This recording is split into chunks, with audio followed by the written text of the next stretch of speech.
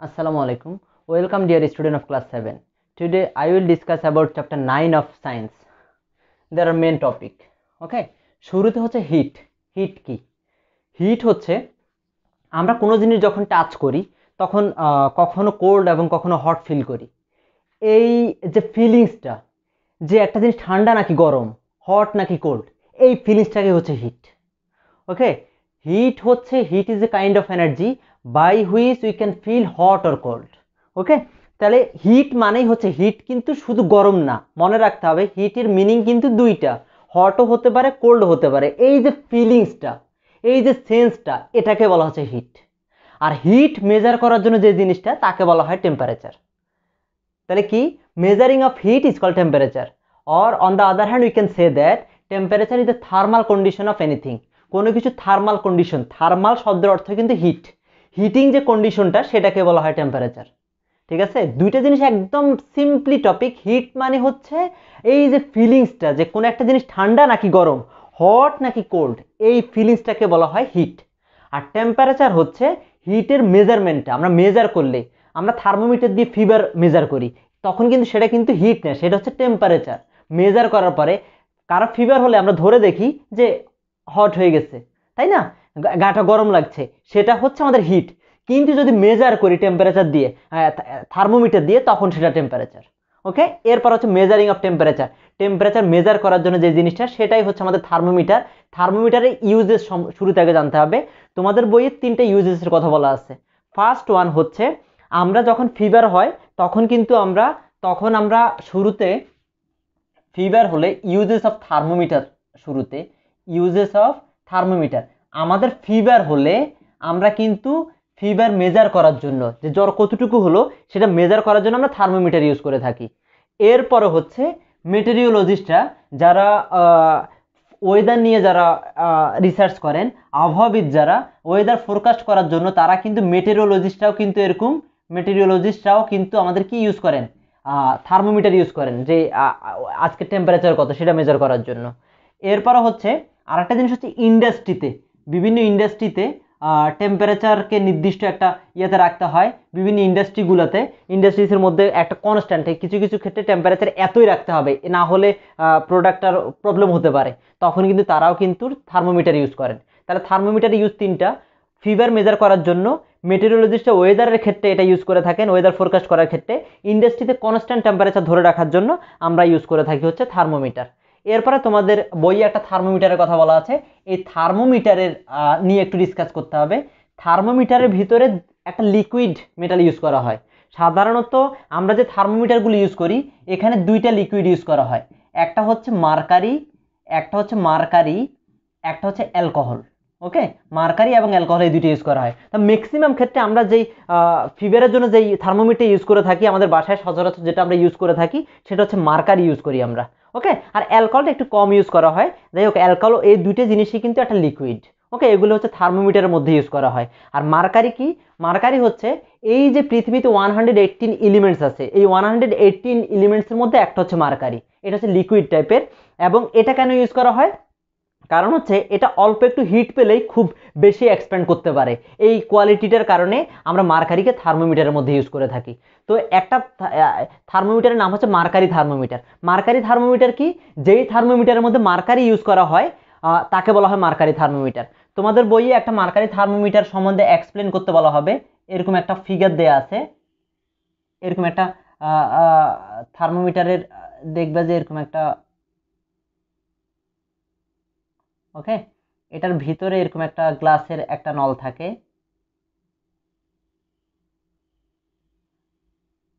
এবং এটার মধ্যে কাটা কাটা কাটা কাটা দেওয়া থাকে হ্যাঁ? এটার মধ্যে কাটা কাটা তোমাদের পরীক্ষাতে মাঝে মাঝে ধরে থাকেন যে ডিসক্রাইব অ্যাবাউট মার্কারি থার্মোমিটার এভাবে এরকম হিট দেওয়া থাকে। এই যে ভিতরে যে একটা পাইপ একটা পাইপ দেওয়া এটা খুবই ন্যারো টাইপের থাকে। একটা হালকা একদম খুবই ন্যারো থাকে। এবং এটার ভিতরে মার্কারিকে প্লেস করে দেওয়া হয়। ওকে? এবং উপরে কিছু উপরে কিছু যে মার্কারির ভ্যাপার থাকে। এই যে এখানে একটা গ্লাস টিউব থাকে, এখানে একটা গ্লাস টিউব থাকে। আমরা যেটাকে আসলে যে মুখের মধ্যে নিয়ে মেজার করি, যেটাকে আমরা জিভের নিচে লাগিয়ে দেই, ওকে? তো এটাকে যখনই এখানে একটু হিট দেওয়া হবে, সামান্য একটু হিট দেওয়া হবে তখন এই যে মার্কারিগুলো খুব সহজে উপরের দিকে উঠে যায় মানে টেম্পারেচারটা নিচের দিকে থাকে, মার্কারিগুলো নিচে থাকে, যখনই একটু প্লেস করা হবে, এটা খুব দ্রুত উপরের দিকে উঠে যায়। উপরে একটা টিউব থাকে, মাঝখানে একটা গ্লাসের একটা নল, হালকা একটা বোর থাকে, ছিদ্র থাকে মাঝখানে একটা, তার মধ্যে মার্কারি প্লেস করে দেওয়া হয়। যেখানে যেই থার্মোমিটারে মার্কারি থাকে, তাকে বলা হয় মার্কারি থার্মোমিটার ওকে নেক্সট হচ্ছে measuring scale of temperature temperature measure করার জন্য কোন কোন স্কেলগুলো ইউজ করা হয়? টেম্পারেচার মেজার করার জন্য মেজারিং স্কেল যেটা দিয়ে আমরা টেম্পারেচারকে মেজার করব। টেম্পারেচার মেজার করার জন্য স্কেল আছে টোটাল হচ্ছে তিনটা। একটা হচ্ছে সেলসিয়াস একটা সেলসিয়াস স্কেল একটা হচ্ছে ফারেনহাইট স্কেল একটা হচ্ছে Kelvin scale Celsius scale Fahrenheit scale এবং কেলভিন স্কেল যদিও কেলভিনটা হচ্ছে ইন্টারন্যাশনাল ইউনিট কিন্তু এটা তোমাদের বইয়ে ডিসকাস করা হয়নি, এটা বড় ক্লাসে গেলে তোমরা পড়বা। ওকে কেলভিন স্কেলটা তোমাদের বইয়ে বলা নাই, কিন্তু টেম্পারেচার মেজার করার ইউনিট হচ্ছে তিনটা। একটা সেলসিয়াস একটা ফারেনহাইট একটা কেলভিন ইন্টারন্যাশনাল ইউনিটটাই হচ্ছে কেলভিন বাট তোমাদের বইয়ে এটা ডিসকাস করা হয়নি। এটা তোমরা বড় ক্লাসে গেলে নাইন টেনে গেলে কিন্তু এটা সম্বন্ধে ডিটেলস পড়বা। তো তোমাদের বইয়ে বলা আছে হচ্ছে দুইটা থার্মো দুইটা টেম্পারেচারের কথা, দুইটা স্কেলের কথা।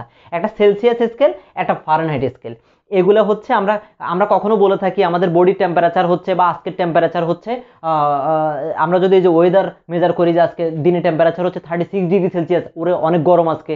তা, বা হচ্ছে শীতকালে আমরা দেখি যে আজকে হচ্ছে টেন ডিগ্রি সেলসিয়াস অনেক ঠান্ডা পড়ে গেছে।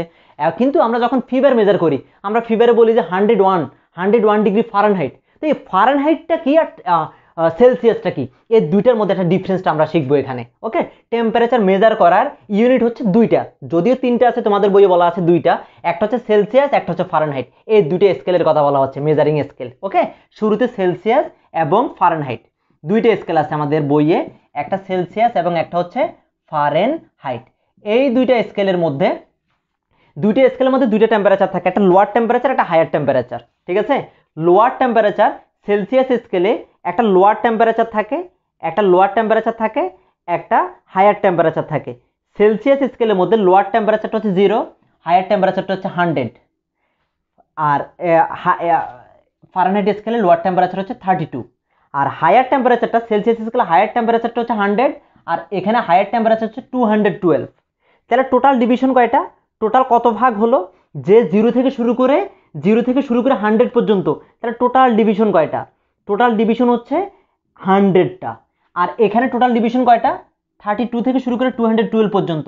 টোটাল ডিভিশন হচ্ছে ওয়ান এইট্টিটা এখন, এই যে একশোটা ভাগ আছে টোটাল হান্ড্রেড ডিভিশন আছে হান্ড্রেড ডিভিশনের প্রত্যেকটা ইন্ডিভিজুয়াল প্রত্যেকটা ডিভিশনকে বলা হয় ওয়ান ডিগ্রি সেলসিয়াস আর এখানে প্রত্যেকটা যে ওয়ান হান্ড্রেড এইট্টি ডিভিশন আছে ওয়ান হান্ড্রেড এইট্টি ডিভিশনের প্রত্যেকটা ডিভিশনকে বলা হয় ওয়ান ডিগ্রি ফারেনহাইট তাহলে এখান থেকে আমরা জিনিস পাবো যে এক ভাগকে বলা হয় ওয়ান ডিগ্রি সেলসিয়াস এখানে এক ভাগকে বলা হয় ওয়ান ডিগ্রি ফারেনহাইট এবং এই যে লোয়ার টেম্পারেচারটা লোয়ার টেম্পারেচারকে বলা হয় ফ্রিজিং পয়েন্ট লোয়ার টেম্পারেচারকে বলা হয় ফ্রিজিং পয়েন্ট ওকে এবং হায়ার যে টেম্পারেচারটা আছে হায়ার টেম্পারেচারটাকে বলা হয় বয়লিং পয়েন্ট ফ্রিজিং পয়েন্ট কাকে বলে? বয়লিং পয়েন্ট কাকে বলে?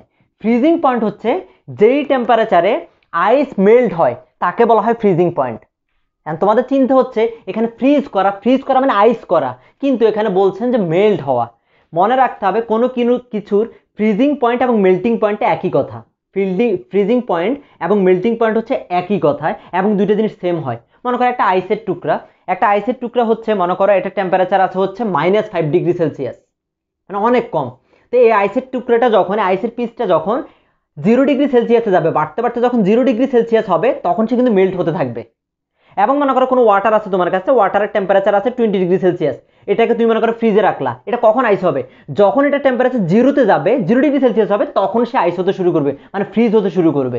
এই জন্য যে কোনো কিছুর ফ্রিজিং পয়েন্ট এবং মেল্টিং পয়েন্ট সেম এই জন্য এখানে যে লোয়ার টেম্পারেচারটা আছে, তোমাদের বই এটা ইউজ করেছে ফ্রিজিং পয়েন্ট কিন্তু ফ্রিজিং পয়েন্টের ডেফিনেশনে লিখেছে যেই টেম্পারেচারে কোনো কিছু মেল্ট হয় তাকে বলা হয় ফ্রিজিং পয়েন্ট এটা নিয়ে কনফিউশনে পড়ার কোনো মানে হয় না।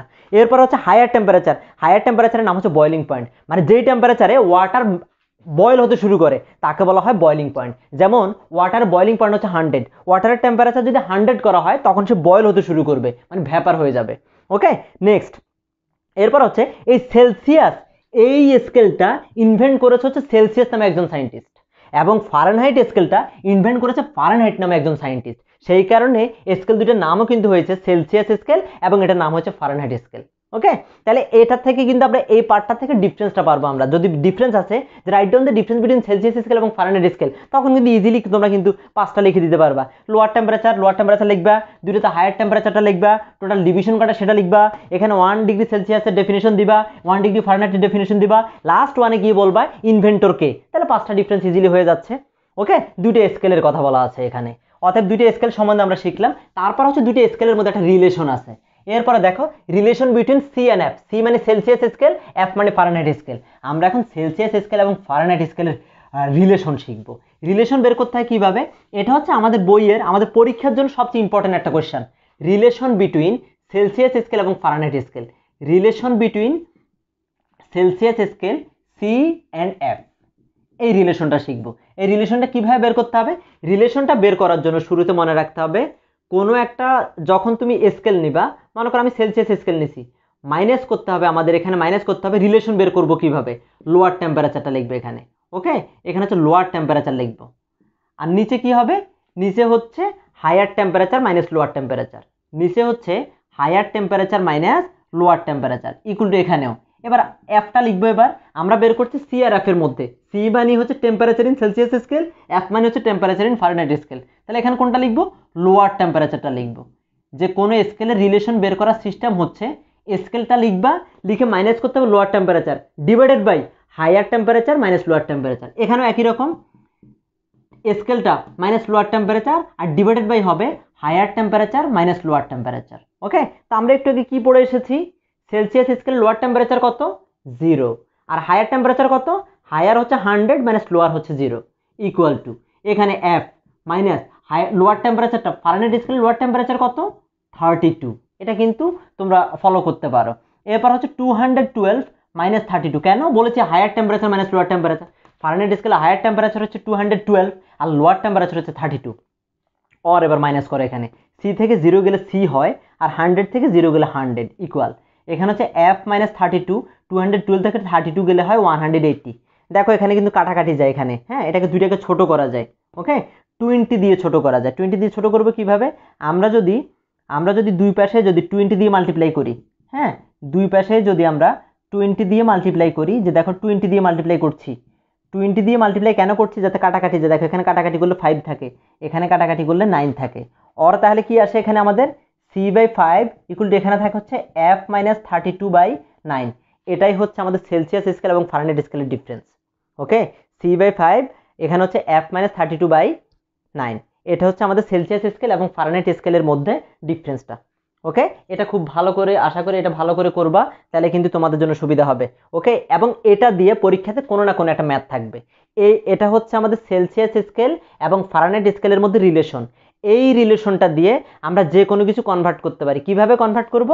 মনে করো বলা হলো আমাদেরকে যে বাংলাদেশের, বাংলাদেশ ক্রিকেট টিম অস্ট্রেলিয়াতে খেলতে গেল। ওকে সেখানে খেলতে যাওয়ার পরে সেখানে খেলতে যাওয়ার পরে সাকিব আল হাসান অসুস্থ হয়ে গেছে ফিভার হয়েছে তার। ফিভার কেমন হয়েছে? এখন সে ডক্টর দেখাতে গেছে ডক্টর বলেছে যে তোমার বডির টেম্পারেচার হচ্ছে ফর্টি ডিগ্রি সেলসিয়াস এখন তো সে বুঝতেছে না যে ফর্টি ডিগ্রি সেলসিয়াস আমি তো শুনেছি, বাংলাদেশে থাকতে শুনে এসেছি যে hundred one hundred two hundred three হলে ফিভার হয়, এখানে ফর্টি ফর্টি তো বুঝতেছি না। তখন এটাকে কনভার্ট করতে হয়। মনে করো টেম্পারেচার ডক্টর বলেছে যে forty degree Celsius forty degree Celsius forty degree Celsius মানে এটা সি এর ভ্যালুটা দেওয়া আছে। এখন বের করতে বলছে ফারানাইট স্কেলে ভ্যালুটা কত? সেলসিয়াস স্কেলে যদি ফর্টি ডিগ্রি সেলসিয়াস হয় ফারানাইট স্কেলে কত? তাহলে আমরা এফ এর ভ্যালুটা বের করব। তাহলে আমরা উইনো ওই যে রিলেশনটা লিখব আমরা আগে। রিলেশনটা কি? C by five equal to F minus thirty two by nine or এখানে কি হবে? সি এর ভ্যালুটা এখানে আছে আমরা ফর্টি বাই এখানে five equal to F minus thirty two by nine okay এখানে আমরা এফ এর ভ্যালুটা বের করব। দেখো এখানে এফ এর ভ্যালুটা বের করলে কি হয়? এখানে হচ্ছে ক্রস মাল্টিপ্লাই করবা। কীভাবে? দেখো এ ফাইভ দিয়ে এফ মাইনাস থার্টি টুকে মাল্টিপ্লাই করবে। দেখো এফ মাইনাস থার্টি টু এখানে হচ্ছে ইকুয়াল এবার হচ্ছে ফর্টি ইন্টু নাইন ওকে এরপরে হচ্ছে আমরা কি করব? আমরা হচ্ছে এবারে যে ফাইভটাকে ওইদিকে নিয়ে যাব।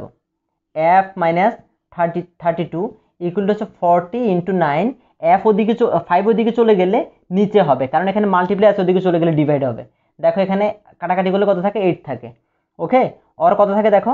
F minus thirty two equal to হচ্ছে eight nine is seventy two okay? এরপরে কত থাকে? আর এফ ইকুয়াল টু থার্টি টুকে আমরা ওইদিকে নিয়ে যাব। Seventy two plus thirty two thirty two plus করলে কত হয়? ওয়ান হান্ড্রেড ফোর তাহলে ফারেনহাইট স্কেলে টেম্পারেচারটা এসেছে হচ্ছে one hundred four degree Fahrenheit যখন সাকিব আল এটা কনভার্ট করে দেখল যে তার body temperature one hundred four degree Fahrenheit তখন সে ফিল করছে আল্লাহ, আমার তো ফিভার তাহলে এটা হচ্ছে মূলত কনভার্সনটা সেলসিয়াস থেকে কীভাবে ফারেনহাইটে নেব? এটা হচ্ছে এভাবে ম্যাথটা করে। এটা কিন্তু থ্রি মার্কসের জন্য পরীক্ষাতে আসে। অনেকবারই আমি গত তিন চার বছরই খেয়াল করেছি স্কুলের কোয়েশ্চেনগুলোতে এর এ ধরনের একটা কোয়েশ্চেন কিন্তু দিয়ে থাকে পরীক্ষাতে। ওকে তাহলে সেলসিয়াসে সি এর ভ্যালু দেওয়া থাকলে এফ এভাবে কনভার্ট করবা। আবার অন্য একটা ম্যাথে বলতে পারে যে ফারেনহাইট স্কেলে যদি হান্ড্রেড ফোর ডিগ্রি হয় ফারেনহাইট স্কেলে যদি হান্ড্রেড ফোর ডিগ্রি ফারেনহাইট হয়, তাহলে সেলসিয়াস স্কেলে কত বের করো? তখন হচ্ছে একই রকমভাবে আমরা ফর্মুলাটা লিখব। দেখো? একই রকমভাবে উইনো উইনো আমরা ফর্মুলাটা লিখব। কি লিখব? C by five equal to F minus thirty two by nine এবার হচ্ছে আমার এফ এর ভ্যালু দেওয়া আছে তার মানে লিখব C by five equal to F কত দেওয়া আছে? Hundred four minus thirty two divided by nine or এখানে দেখো C by five equal to hundred four থেকে থার্টি টু গেলে seventy two divided by nine or এবার ক্রস মাল্টিপ্লাই করবা, দেখো এই এই কোনাকুনি আগে করতে হবে। কেন? কারণ আমরা বের করব সি এর ভ্যালু এই জন্য সিটাকে লেফট সাইডে রাখতে হবে। যেটার ভ্যালু বের করব, তাকে লেফট সাইডে রাখতে হয়। আর এ পাশে হচ্ছে five into seventy two okay এই ক্রস মাল্টিপ্লাই করলাম। অর শুধু সি বের করব সি ইকুয়াল টু কত হবে? Five into seventy two by nine কাটাকাটি করো সেভেন দিয়ে নাইন দিয়ে সেভেন্টি টুকে কাটলে এইট নাইন ইজে সেভেন্টি টু কত হয়? ফাইভ এইট ইজে ফর্টি তার মানে ফর্টি ডিগ্রি সেলসিয়াস তার মানে আমি যদি এই রিলেশনটা জানি, এই ইকুয়েশনটা জানি এই ফর্মুলাটা জানি, তাহলে কিন্তু আমাকে কোনো একটা বের করতে দিলে আর একটা কিন্তু আমি ইজিলি বের করতে পারব। ওকে মাঝে মাঝে আমাদেরকে বলে থাকেন যে আইসের ম্যাক্সিমাম টেম্পারেচারটা কত হবে? আইসের ম্যাক্সিমাম টেম্পারেচার ফারেনহাইট স্কেলে বের করো। এটা হচ্ছে আরেকটা ম্যাথ বলবে, কোনো একটা আইসের ম্যাক্সিমাম টেম্পারেচার কত হবে? বের করতে দিবে যে what is the maximum temperature of ice in Fahrenheit scale maximum temperature maximum temperature of ice in Fahrenheit scale মানে এর মধ্যে বের করতে। তো উই নো দ্যাট আইসের ম্যাক্সিমাম টেম্পারেচার হয় হচ্ছে জিরো ডিগ্রি সেলসিয়াস ওকে এটা মনে রাখতে হবে যে সেলসিয়াস স্কেলে আইসের ম্যাক্সিমাম আইস জিরোর পরে গেলে সে আর আইস থাকে না, সে ওয়াটার হয়ে যায়। তখন এটা আগে আমাদেরকে মুখস্থ রাখতে হবে যে আইসের ম্যাক্সিমাম টেম্পারেচার হচ্ছে জিরো ডিগ্রি সেলসিয়াস এবার উই নো এবার হচ্ছে ওই যে ইকুয়েশনটা লিখবে এবার। তাহলে কত হবে? C by five equal to হচ্ছে F minus thirty two by nine or এখানে কত হবে? C by five equal to C C value বসাবো জিরো তাহলে কত হয়? এখানে F minus thirty two by nine or কত হবে দেখো? ক্রস মাল্টিপ্লাই করি। তাহলে এখানে ফাইভ দিয়ে হচ্ছে five into F minus two equal to এখানে কত হয়? নাইন জিরো ইজে জিরো হয়ে যায়। অর এখানে কত হবে? এফ মাইনাস থার্টি টু ফাইভকে ওইদিকে নিয়ে যাব জিরো বাই ফাইভ তাহলে ওদিকে নিয়ে গেলে কত হয় দেখো তো? ডিভাইড করলে ফাইভ জিরোকে ফাইভ দিয়ে ডিভাইড করলে জিরোই হবে। তাহলে শুধু থার্টি টুকে ওদিকে নিয়ে যাও, শুধু থার্টি টু ডিগ্রি ফারেনহাইট মাইনাসটার ওদিকে চলে গেলে প্লাস হবে। তার মানে আইসের আইসকে যদি আমি ফারেনহাইট স্কেলে নেই, তখন এটা টেম্পারেচার হবে থার্টি টু ডিগ্রি ফারেনহাইট এই এতটুকু হচ্ছে আমাদের ম্যাথটা থ্রি মার্কসের জন্য পরীক্ষাতে প্রায় আসতে দেখা যায়, তোমরা একটু প্র্যাকটিস করবা, আশা করি পারবা। এরপরে হচ্ছে আমরা নেক্সট টপিকতে যাই এবার। আমরা এটা দেখেছি এটা দেখেছি, এটা এটা এটা। এবার হচ্ছে expansion of solid liquid and gas okay মানে কোনো কিছুতে হিট দিলে, কোনো কিছুতে যদি আমরা হিট দেই, তাহলে কিন্তু এটা এক্সপেন্ড করে মানে বেড়ে যায়। হ্যাঁ এটা আমরা তিনটা ক্ষেত্রে আলাদা আলাদা পড়ব। যে এক্সপেন্ড করে, কখন? হিট যদি অ্যাপ্লাই করি, আমরা কোনো কিছুর মধ্যে হিট অ্যাপ্লাই করলে সেটা এক্সপেন্ড করে মানে বেড়ে যায় ইনক্রিজ হয়ে যায়। তো সলিডে কীভাবে হচ্ছে? লিকুইডে কীভাবে হয়? গ্যাসে কীভাবে হয়? তিনটা আলাদা করে বলা আছে। সলিডে হচ্ছে, আমরা যদি কোনো ক্যান্ডেলের মধ্যে, কোনো একটা ক্যান্ডেল জ্বলছে আমার সামনে, আমি যদি কোনো একটা কোনো একটা মেটালকে যদি ধরি, মনে করো কোনো একটা স্পুনকে যদি এটার উপরে, এই ক্যান্ডেলের মধ্যে ধরে রাখা হয়, যে কিছুক্ষণ ধরে রাখার পরে হঠাৎ করে দেখবে যে হাত কিন্তু গরম হয়ে যাচ্ছে, তুমি কিন্তু ছেড়ে দিবা। ওকে? কারণ হচ্ছে, এটা ওই যে সলিডটার মধ্যে দিয়ে হিটটা কিন্তু তোমার কাছে চলে এসেছে। তো যদি সলিডের মধ্য দিয়ে হিটটা যায়। হিটটা গেলে এখানে আমাদের পার্সোনাল লাইফে দুটো এক্সাম্পলের কথা বলা আছে। এটা তোমরা দেখবা হচ্ছে যে নেক অফ বোতল। মাঝে মাঝে দেখবা, এটা আমার ছোটোবেলার কথা মনে পড়ে, মাঝে মাঝে দেখতাম ওষুধের বোতলগুলো খুলতে পারছি না। তখন মাকে দেখতাম, মা, হিট দিচ্ছে। এটাতে হিট দিয়ে, হিট দিলে দেখতে পাচ্ছি যে খোলা যাচ্ছে। তো এটা হচ্ছে নেক অফ বোতল। এখানে তোমাদের বই এক্সাম্পল দেওয়া আছে। এই দুটো কোয়েশ্চেন টু মার্কসের জন্য আসতে পারে বি মার্কসের মধ্যে। নেক অফ বোতল মাঝে মাঝে আটকে যায়। হ্যাঁ স্টার্ট হইতে যায় এটা খুলবো কীভাবে? খোলার জন্য মনে রাখবা এখানে দুটা ওয়ে আছে। একটা হচ্ছে তুমি হিট দিবা, বা হচ্ছে গরম পানির মধ্যে যদি এটাকে ডুবাও, বোতলটাকে, ডুবালে একটু পরে দেখবে যে ঘুরানো যাচ্ছে। কারণ হচ্ছে হিট পেয়ে কিন্তু ওই বোতলের যে নেকটা, মুখটা, সেটা কিন্তু এক্সপেন্ড করেছে আর খুলতে পারছ তুমি। আর আরেকটা এক্সাম্পল বলা আছে রেল লাইনে মাঝে মাঝে ফাঁক রাখা হয় কেন? তোমরা যদি রেল লাইন দিয়ে হেঁটে থাকো, তাহলে দেখবা, কিছু দূর যাওয়ার পরে মাঝখানে কিন্তু একটা ফাঁকা থাকে। কেন এই ফাঁকাটা কেন থাকে? কারণ যে রেল লাইনের উপর দিয়ে চলার সময় একটা কলিশন হয় মানে ঘর্ষণ হয়। এই ঘর্ষণের কারণে প্রচুর হিট প্রডিউস হয়। অর সানলাইট যখন সানের হিট যখন অনেক বেশি থাকে, তখন কিন্তু রেল লাইনটা কিন্তু হিট হয়ে যাচ্ছে। হিট হয়ে কিন্তু এটা হিট হওয়ার কারণে এক্সপেন্ড করবে। এবং যদি তখন রেল লাইন যায়, এটা কিন্তু বেঁকে যাবে, উপরের দিকে উঠে যাবে, যদি ফাঁকা না থাকতো। ফাঁকা থাকার কারণে এটা এক্সপেন্ড করলেও এটা যদি ইনক্রিজ হয়ে যায়, তারপরে এটা ব্যালেন্স করে নেয়, আর অ্যাক্সিডেন্ট ঘটে না। যদি রেল লাইনে মাঝখানে ফাঁকাটা না থাকতো, তাহলে অ্যাক্সিডেন্ট ঘটতে পারতো। কারণ হচ্ছে, এটা যদি মনে করে এটা এখন যতটুকু আছে, এই জায়গার মধ্যে এটা যদি বেড়ে যায়, এটা বাঁকা হয়ে উপরের দিকে উঠে যাবে। রেল লাইনটা এরকম হতো, সেই কারণে অ্যাক্সিডেন্ট যাতে না হয়, সেই কারণে মাঝে মাঝে রেল লাইনের মাঝখানে ফাঁকা রাখা হয়। এই দুটো কোশ্চেনই বি মার্কের জন্য আমাদের খুবই ইম্পর্টেন্ট পরীক্ষাতে কীভাবে লিখবে, আমি শীটের মধ্যে দিয়ে দিয়েছি, তোমরা শীটটা ফলো করো। আমি ভিডিও ডিসক্রিপশনে শীটটা দিয়ে দেবো, তোমরা শীটটাকে একটু দেখে নিও। এরপরে লিকুইডের ক্ষেত্রে।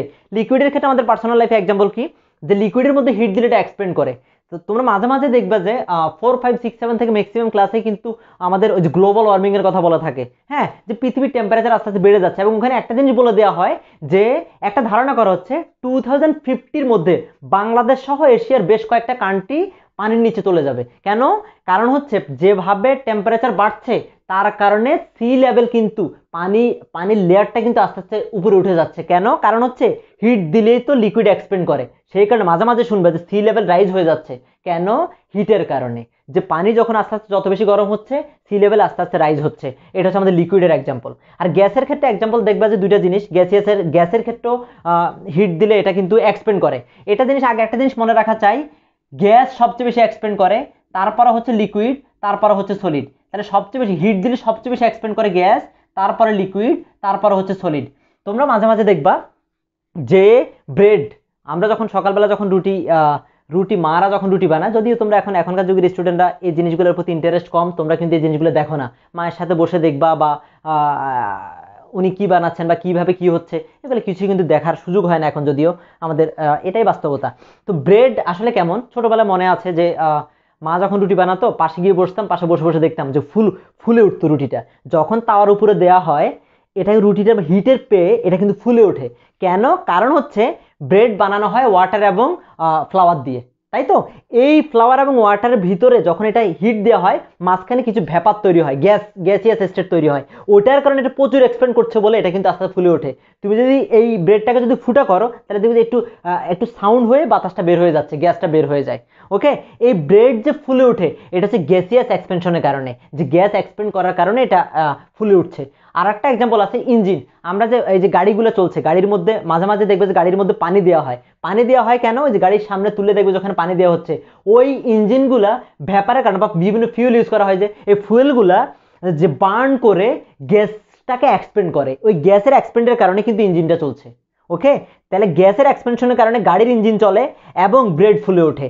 সলিডের এক্সপেনশনের কারণে দুটো ঘটনা বলা হয়েছে। একটা নেক অফ বোতল স্টার্ট হইতে যায় এবং রেল লাইনে মাঝে মাঝে ফাঁকা রাখা হয় যাতে সলিডের এক্সপেনশন হলো, যাতে অ্যাক্সিডেন্ট না হয়।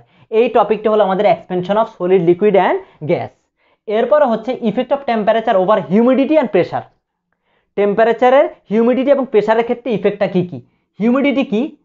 এয়ারের মধ্যে যখন ওয়াটার ভ্যাপার তৈরি হয় ওয়াটারের ভ্যাপারটাকেই এয়ারের মধ্যে ওয়াটার ভ্যাপার যেই মানে এক্সিস্ট করে। সেটাকে বলা হয় হিউমিডিটি ওকে তো হিউমিডিটি কখন বেড়ে যায়?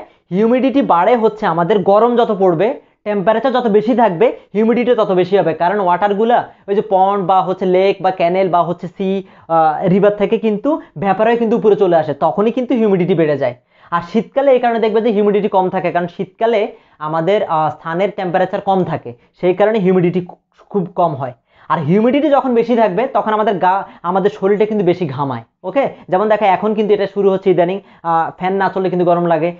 স্টিল আমি কিন্তু গরম ফিল করছি, কারণ হচ্ছে এই ভিডিওটা করতে গিয়ে কিন্তু আমি ফ্যান ইউজ করতে পারছি না। কারণটা হচ্ছে সাউন্ডটা তোমরা ক্লিয়ার পাবে না। তো এখানে আমি ফিল করছি যে অনেক গরম হচ্ছে, কারণ হচ্ছে হিউমিডিটি কারণ এখন স্থানের টেম্পারেচারটা অনেক আছে। এরপর হচ্ছে প্রেশার প্রেশার কোনটা? অ্যাটমসফিয়ারের মধ্যে যে প্রেশারটা প্রেশারটা কেমন? দুইটা কথা, দুইটা টপিক আছে এখানে। একটা হচ্ছে হাই প্রেশার একটা লো প্রেশার একটা হাই প্রেশার একটা হচ্ছে low pressure high pressure high pressure একটা হচ্ছে লো প্রেশার কোনো বোতলের ভিতরে যদি কোনো গ্যাসকে হিট দেওয়া হয়, তখন কিন্তু এটার প্রেশারটা বেড়ে যায়। কোনো যদি কোনো বোতলের ভিতরে বা কোনো একটা, কোনো কিছুর ভিতরে ঢুকিয়ে যদি কোনো কিছুকে হিট দেওয়া হয়, তখন এটা প্রেশারটা কিন্তু আমাদের প্রেশারটা কিন্তু বেড়ে যায়। কিন্তু যদি ওপেন এরিয়ার মধ্যে, এই যে অ্যাটমসফিয়ারের মধ্যে যদি হিট বেশি হয়, তখন কিন্তু আর এটা প্রেশার বাড়ায় না, এটা প্রেশার কমে যায়। কেন? কারণ হচ্ছে মনে করো গরমকালে, যখন প্রচুর গরম পড়ে, এই যে কিছু, কিছুদিন পরে কিন্তু আমাদের নর স্টার শুরু হবে। কারণটা কি? যখন প্রচুর হিট বেশি হবে, তখন এই যে এয়ারগুলো লাইট হয়ে উপরের দিকে উঠে যায়। উপরে যখন উঠে যায়, তখন এখানে আর কোনো এয়ার থাকে না। তখন এই যে এয়ার ফ্রি হয়ে গেল, এটাকে বলা হয় লো প্রেশার ঠিক আছে? তার মানে যদি ক্লোজ কন্টেনারের ভিতরে ক্লোজ কোনো এরিয়ার ভিতরে যদি টেম্পারেচার বেড়ে যায়, তখন এটাকে বলা হয় হাই তখন হাই প্রেশার ক্রিয়েট করে। আর যদি ওপেন এরিয়ার মধ্যে দ্যাট মিনস অ্যাটমসফিয়ারের মধ্যে, যদি আমাদের টেম্পারেচার বেড়ে যায়, তখন লো প্রেশার ক্রিয়েট করে। আর লো প্রেশার যখন ক্রিয়েট হয়, তখনই কিন্তু সাইক্লো নর স্টারগুলো হয়ে থাকে। ওকে এটা দুইটা জিনিস। একটা হচ্ছে হাই প্রেশার একটা হচ্ছে লো প্রেশার এবং ওই যে আমাদের কিছুদিন পরেই কিন্তু আমাদের বাংলাদেশে শুরু হচ্ছে, যেহেতু সামনেই কিন্তু বৈশাখ মাস আসছে কাল বৈশাখী স্টার শুরু হবে। এটা হচ্ছে এই কারণে। এটা গেছে ইফেক্ট এরপরে হচ্ছে ট্রান্সমিশন অফ হিট ট্রান্সমিশন মানে হচ্ছে ট্রান্সফার হওয়া। হিট এক জায়গা থেকে আরেক জায়গায় ট্রান্সফার করা। সাধারণত হিট ট্রান্সফার হয় হচ্ছে হিট যে একটা জায়গা থেকে আরেকটা জায়গায় যাচ্ছে, এটাকে বলা হয় ট্রান্সমিশন অফ হিট ওকে তো হিট সাধারণত হাই থেকে লোয়ের দিকে যায়। হিট কোন দিক থেকে কোন দিকে যায়? হাই থেকে হায়ার টেম্পারেচার থেকে লোয়ার টেম্পারেচার দিকে হিট যায়। আর হিট ট্রান্সমিশন হয় তিনটা প্রসেসে তিনটা ওয়েতে একটা কন্ডাকশন একটা কনভেকশন একটা রেডিয়েশন কন্ডাকশন কোনটা? কোনো সলিডের মধ্যে দিয়ে যখন হিট ট্রান্সফর্ম করবে ট্রান্সফার হবে, তখন এটাকে বলা হয় সলিড আর কোনো লিকুইড এবং গ্যাসের মধ্যে দিয়ে যদি হিট ট্রান্সফার হয় লিকুইড এবং গ্যাসের মধ্যে দিয়ে, তখন এটাকে বলা হয় কনভেকশন আর রেডিয়েশন হচ্ছে কোনো মিডিয়াম থাকবে না। কোনো কিছু ছাড়া, এই যে স্থান থেকে যে হিটটা আসতেছে, এটাকে বলা হয় রেডিয়েশন ওকে তাহলে কন্ডাকশন কোনটা? কোনো সলিড স্টেটের মধ্যে দিয়ে, কোনো সলিড মিডিয়ামের মধ্যে যদি হিট ট্রান্সফার হয়, তখন তাকে বলা সলিড আর কনভেকশন হচ্ছে কোনো লিকুইড বা গ্যাসের মাধ্যমে যদি হিট ট্রান্সফার হয়, তখন তাকে বলা হয় কনভেকশন আর রেডিয়েশন হচ্ছে আমাদের স্থান থেকে কোনো হিট যদি আমাদের কাছে আসে, যেই ওয়েতে আসছে, সেটাকে বলা হয় রেডিয়েশন তো এই সলিড হিট হচ্ছে ওই যে কোনো কিছুর উপরে যদি আমরা কোনো একটা গরম কিছুর মধ্যে যদি কোনো একটা মেটালকে ধরে রাখি কিছুক্ষণ বেলা দেখবে হাতটা গরম হয়ে যাচ্ছে, কারণ সলিডের মধ্যে দিয়ে হিটটা ট্রান্সফার হয়ে আসছে এই জন্য এটাকে বলা হয় কনভে কন্ডাকশন আর লিকুইড এবং গ্যাস আমরা ভাতের পাতিলের নিচে যখন আগুন দেই, উপরে পানিটা কিন্তু গরম হয়ে যাচ্ছে। তার কারণ হচ্ছে কনভেকশন কারণ হচ্ছে লিকুইডের মধ্যে দিয়ে হিটটা কিন্তু ট্রান্সফার হয়ে যায় এবং গ্যাসের মধ্যে দিয়ে হিটটা ট্রান্সফার হয়। ওকে এই গ্যাসের মধ্যে দিয়ে হিটটা কীভাবে ট্রান্সফার এটা কেমনে বুঝবা? মনে করো তোমাদের একটা এক্সাম্পল দেওয়া আছে। একটা বলছে যে একটা স্ট্রং একটা গ্লাস বোতল নাও। গ্লাস বোতল এটার মুখের মধ্যে মুখটা খুলে দিয়ে একটা ইয়া করো, একটা বেলুন বেঁধে দাও। বেলুন বেঁধে দিয়ে বোতলটাকে এবার গরম পানিতে ডুবাতে বলেছে। গরম পানিতে ডুবালে কিছুক্ষণ পরে দেখা যাবে বেলুনটা ফুলে উঠছে। পুরো ফুলে যায় না, কিছুটা ফুলে ওঠে। কেন ফুলে গেল? কারণ হচ্ছে সে গরমটা পেয়ে হিটের কারণে সে এটার ভিতরে যে গ্যাসগুলো আছে, গ্যাসটা এক্সপেন্ড করেছে এবং বেলুনটা ফুলে উঠেছে। এরপরে আবার বলেছে, সেই বোতলটাকে আবার ফুলে যাওয়ার পরে বোতলটাকে আবার ঠান্ডা পানিতে ডুবাও। ঠান্ডা পানিতে ডুবালে বেলুনটা আবার চুপসে যায়। কারণ কি? কারণ যে হিটটা আবার এক্সপেন্সটা আবার ডিক্রিজ হয়ে গেছে। সেটা আবার কমে গেছে ঠান্ডার কারণে। এই এটা হচ্ছে আমাদের এক্সাম্পল দেওয়া আছে। আর রেডিয়েশন কোনটা? সান থেকে আমরা যে হিটটা পাচ্ছি, যে ওতে হিটটা আমাদের কাছে আসে সেটাকে বলা হচ্ছে রেডিয়েশন রেডিয়েশন বলার ক্ষেত্রে দুইটা জিনিস বলা হচ্ছে। যারা হিট রেডিয়েট করে মানে যারা হিট ছাড়ে, তাকে বলা হয় রেডিয়েটর হ্যাঁ? তাকে বলা হয় রেডিয়েটর যারা হিট ছেড়ে দেয় রেডিয়েট করে, তাকে বলা হয় রেডিয়েটর আর যে হিট অ্যাবজর্ব করে, তাকে বলা হয় হিট অ্যাবজর্বার ওকে? যেমন হচ্ছে হিট রেডিয়েটরকে যেমন হচ্ছে সান হচ্ছে হিট রেডিয়েটর সান থেকে হিট আমাদের কাছে আসছে। এই সানটাকে বলা হয় হিট রেডিয়েটর ঠিক আছে কিনা? এবং ওয়াটার কিন্তু হিট অ্যাবজর্ব করে। মাঝে মাঝে ওই যে ওয়াটারের মধ্যে যখন হিট গরম কিছু ডুবাবা, দেখবে যে ওয়াটারটা হিট অ্যাবজর্ব করে যেন ওয়াটারটা হচ্ছে হিট অ্যাবজর্বার কিন্তু একটা জিনিস মনে রাখতে হবে আর্থ হচ্ছে হিট রেডিয়েটর এবং হিট অ্যাবজর্বার দুইটাই। এটা বি মার্কের জন্য খুব ইম্পর্টেন্ট একটা কোশ্চেন যে আর্থকে কেন হিট রেডিয়েটর বলা হয় এবং হিট অ্যাবজর্বার বলা হয়? একই সাথে দুইটা। আমরা সচরাচর জানি যে হিট রেডিয়েট করে মানে হিটটা ছেড়ে দেয়, তাকে বলা হিট রেডিয়েটর যে হিট অ্যাবজর্ব করে, তাকে বলা হিট অ্যাবজর্বার তা আর্থ হচ্ছে দুইটাই। কেন দুইটাই? যখন সান থেকে দিনের বেলা হিট আসে, তখন আর্থ কি আর্থ কি করে? সান থেকে যখন হিটটা আসে, তখন আর্থ সেই হিটটা অ্যাবজর্ব করে। মানে পৃথিবীটা দিনের বেলায় গরম হয়ে যায়। এবং তাকে কেন হিট অ্যাবজর্বার বলা হয়? এই কারণে, কারণ সেই হিট অ্যাবজর্বটা করছে। আর আর্থকে কেন রেডিয়েটর বলা হয়? রাতের বেলায় পৃথিবী কিন্তু পুরো টেম্পারেচার আবার ধরে রাখে না, সে কিছু টেম্পারেচার অ্যাটমসফিয়ার মধ্যে ছেড়ে দেয়। রাতের বেলা সে টেম্পারেচারটা ছেড়ে দিচ্ছে বলে তাকে বলা হয় হিট রেডিয়েটর দিনের বেলা সে হিট অ্যাবজর্ব করে, সেই কারণে তাকে বলা হিট অ্যাবজর্বার মানে হচ্ছে সান থেকে সে অ্যাবজর্ব করে নেয়। এই জন্য আটকে বলা হয় হিট অ্যাবজর্বার আবার রাতের বেলায় হিটটা সে ছেড়ে দেয় এই জন্য তাকে বলা হিট রেডিয়েটর যদি সে অ্যাবজর্ব না করতো, তাহলে পৃথিবীতে আমরা ঠান্ডায় মরে যেতাম। আর যদি সে রাতের বেলা হিটটা না ছেড়ে দিত, তাহলে আমরা গরমে মারা যেতাম। এই ব্যালেন্সটা আল্লাপা করে দিয়েছেন, সেই কারণে আমরা পৃথিবীতে সুন্দরভাবে, সুস্থভাবে বেঁচে আছি। এই হচ্ছে ওভারঅল চ্যাপ্টারের যে টোটাল ডিসকাশনটা আমি তোমাদের জন্য শিট রেডি করেছি যে পরীক্ষাতে কি কি পড়তে হবে বা চ্যাপ্টারটার জন্য কি কি পড়বা। তোমরা টপিকগুলো আগে দেখবা যে এই এই টপিকগুলো চ্যাপ্টারে বলা আছে। এর বাইরে কোনো কিছু নাই। এবং মুখস্থ বিদ্যার জন্য কি কি করতে হবে বা কি কি পড়তে হবে, তোমরা সেটা একটু শিটটা ফলো করো। আমি ভিডিও ডিসক্রিপশনে তোমাদের জন্য শিটটা দিয়ে দেবো প্রোভাইড করব। আর একটু পড়াশোনা করো, ভালো থেকো। আর করোনা পরিস্থিতির মধ্যে সবাই একটু সেফ থাকার চেষ্টা করবা। সবাই সবার জন্য দোয়া করবা।